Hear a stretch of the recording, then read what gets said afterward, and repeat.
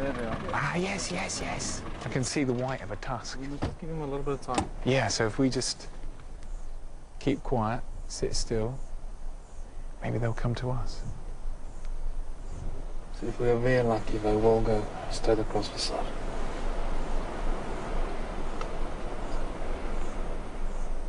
They're crossing, they're crossing the road just here. What an amazing sight. Two, four, six, seven of them, the big one there, keeping an eye on, on us. And they're just pushing through the bush. It's, it's really is an incredible sight. But there's a major problem in South Africa. There are simply too many elephants. The numbers are increasing now because of uh, the huge attempts to um, save the elephant. But now we are at a stage where the numbers are very, very high. too they are, high? uh, slightly too high, yes. And they, they need to manage the elephants now. Why is there a problem if there's too many elephants?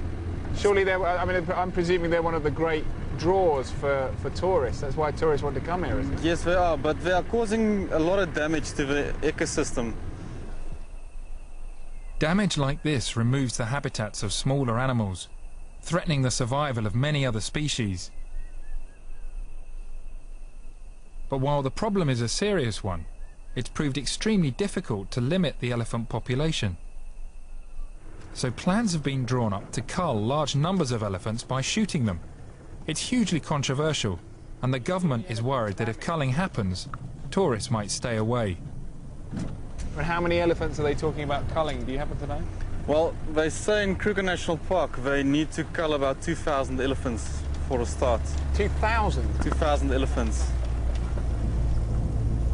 The Kruger National Park, the largest and most prestigious game reserve in South Africa, told us the elephant issue is currently so sensitive, they simply didn't want to discuss it with us. The idea of culling the elephant seems to be a big debate at the moment, but no, no final decision has been taken, is there? No, no final decision has been taken. Um, every time, every, every time they decide to cull, there's groups that come in and they stop the culling. You're with Kapama Reserve and Lodge. Now, what- What's, the, what's their position on, on this whole idea of culling the elephants? Kapama's against the culling of elephants. They would rather support different ways in controlling elephant populations. The view of the Kapama Lodge is shared by many of the game reserves in the area. But not everyone agrees. Just 10 miles down the road is the Moholoholo Wildlife Sanctuary, How old is your rhino? run by Brian Jones, himself a former ranger. You keep down there, you, you okay? No, you- I'm going to hide behind you. Hello, hello, hello. Look at this. Is it okay to touch? Yes, you could stroke him. He, he's a bit thick-skinned, but that's fine. He's a bit Bit thick-skinned, just isn't see the he? Watch him how you're going to put his tail up now, because he's been scratched. What have you got in your hand there? You've got a bit of metal that you're using to actually hand- make him feel Your it. hand's a bit soft. He needs something rough. You are, you are very cute. You're ugly as hell, but you're I really beg your cute. pardon. Oh, there he goes. Oh, he's going to go. Oh. Oh, look at that. Come You, look at the you've, ticks on the bottom here. you've just seduced him. He's rolled over. We don't use drugs here. We just uh, charm them. What an amazing creature. Okay. Brian has an extraordinary way with his animals, and he holds clear views on how Africa's wildlife should be managed. Good boy. Oh, now he's going to get me at the gate here. Hello, big boy. Hello, big. Don't not too close, you'll get cross. Okay. Hello. Oh, big boy. Oh, big boy. Oh, big boy. You're too close, unfortunately. He doesn't like it.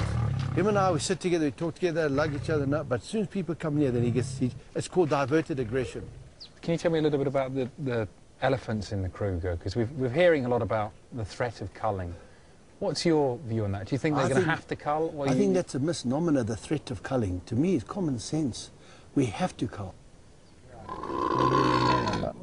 To be really honest with you, all these little game parks with fences around, inevitably in the end, is going to do more harm than what cattle have done. Because the guys have spent millions buying the place, millions putting the fence, putting the infrastructure up. Now he's got to get tourists to pay back.